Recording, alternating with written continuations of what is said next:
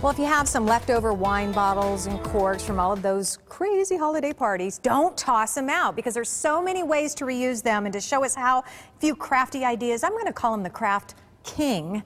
Ray Del Muro, right? Because I'm the queen, you're the king. Get nice. It? Okay. I like it. Anyway, of Refresh Glass, welcome, and I love all of these great ideas. Thank you so much. Okay, but you're this is you're not a crafty guy originally. You were what were you earlier? I was an engineer for an aerospace company.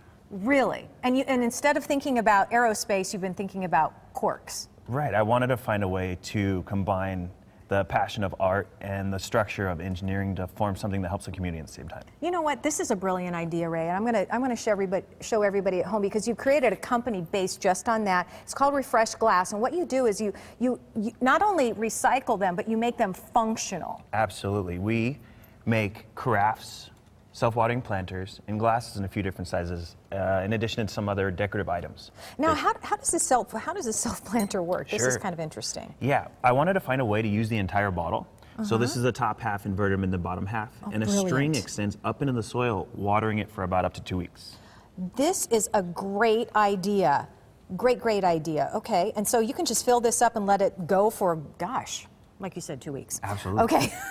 All right. Some of the other ideas when, besides recycling the glass, you're also recycling the corks, and these are really cool. What, what is that sphere We are. This there? is a sphere that we got from a craft store that we just used a hot glue gun to put the corks on it to make a sphere ball. So that is like a styrofoam ball under there? Exactly. Or? Oh, okay. Exactly. Okay. It's a four-inch ball. Oh, okay. And this is a neat idea, making initials. Yeah, this is fun. We made this for you this weekend for, for Sonoran Living. So these letters are commonly available at your local craft store. Absolutely, and you just glue it right on there. And, and now you're using reusing everything, even the labels. Exactly. And I see that you decoupaged a frame there with some I did, I did. Those labels. are my beautiful sisters. And so I wanted to find a creative way to decorate the frame. I love this idea. Okay, here's yet one more idea. Trivets, and just a myriad of, of different sizes. And do you have to even some of them out, or? You know what? Corks are commonly they only come in about two or three different sizes. So okay. i just picked a few that were all the same size just to make it easier. Okay and you just use a, sim a simple hoop like this? Yep. that's so, the industrial look and yep, that's an embroidery hoop. It is. Yeah. It is all commonly available at your local store and it couldn't be any easier to put together. Okay so you're going to show us real quick then how to make these. These are um, really super cute coasters Okay, and we're just starting with a little piece of cork. Right, and these are also available at the local craft store. They okay. come in packages of four, they're only a couple bucks. Okay, so what do we do? Okay, so what I've done is I've, I've cut corks along the length, mm -hmm. and I mm-hmm. used four of them. Each okay. coaster requires four.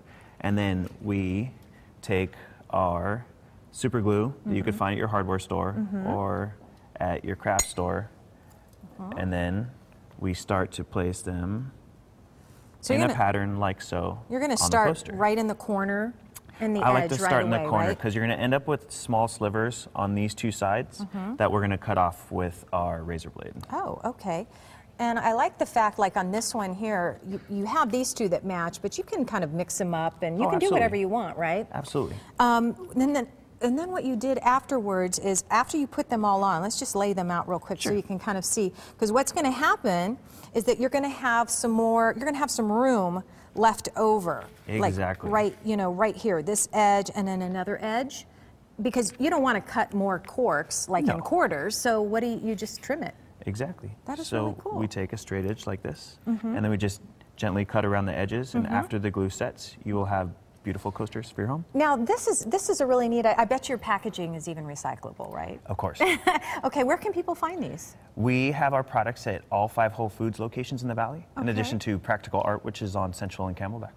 Because it, it, really is art. It was just a really clever way of, of reusing wine bottles. So Ray, thank you very much thank for, for sharing your ideas and, and good information. Of course, we have more information on SonoranLiving.com.